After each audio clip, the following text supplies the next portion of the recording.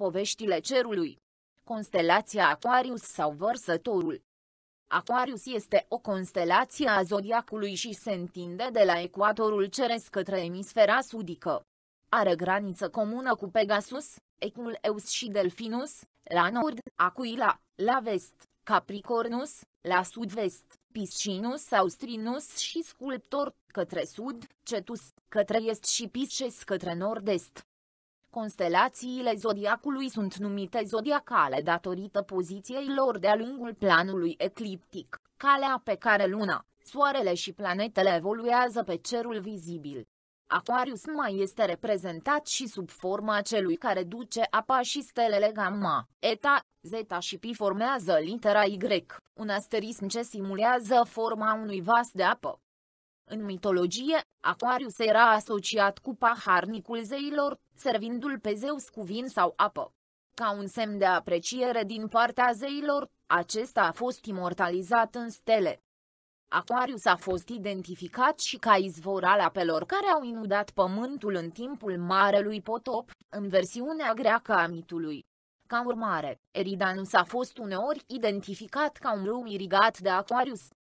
Aquarius este una dintre cele mai vechi constelații recunoscute de-a lungul zodiacului, calea aparentă a Soarelui.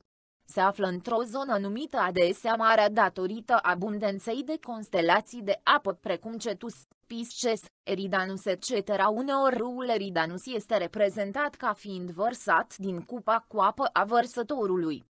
Pentru pasionații cu binocluri și telescoape mici, clusterul globular Medoi reprezintă un obiect splendid de localizat în Aquarius.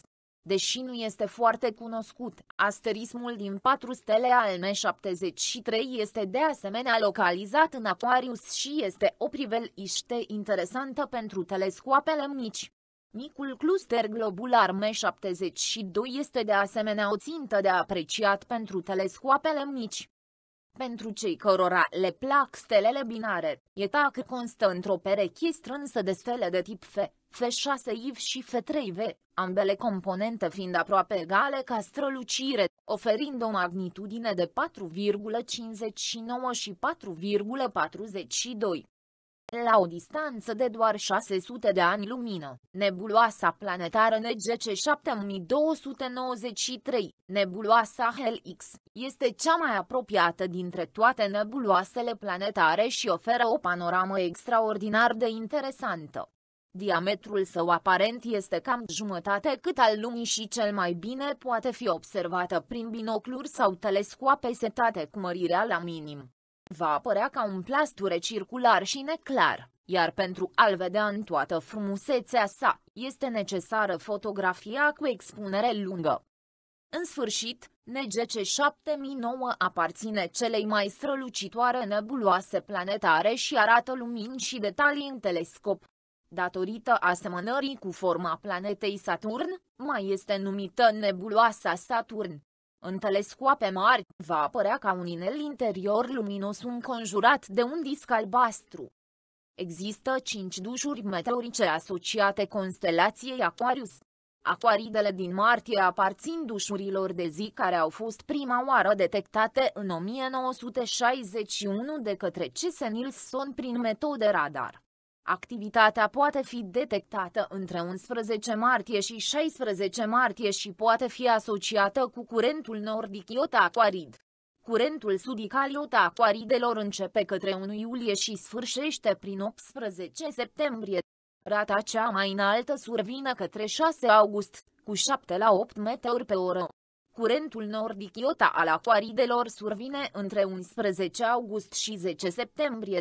Rata maximă este identificată pe 25 august cu o medie de 5 la 10 meteori pe oră.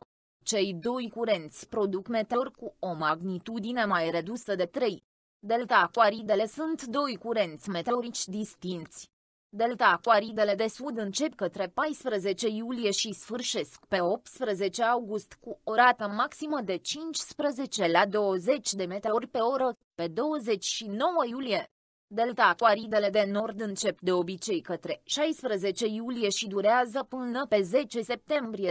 Rata cea mai înaltă este pe 13 august, cu 10 meteorori pe oră, maxim. Dușul meteoric al Aquaridelor începe pe 21 aprilie și sfârșește pe 12 mai. Vârful este atins pe 5 mai, cu o rată de 20 de meteori pe oră pentru observatorii din emisfera nordică și cam 50 pe oră pentru observatorii din emisfera sudică.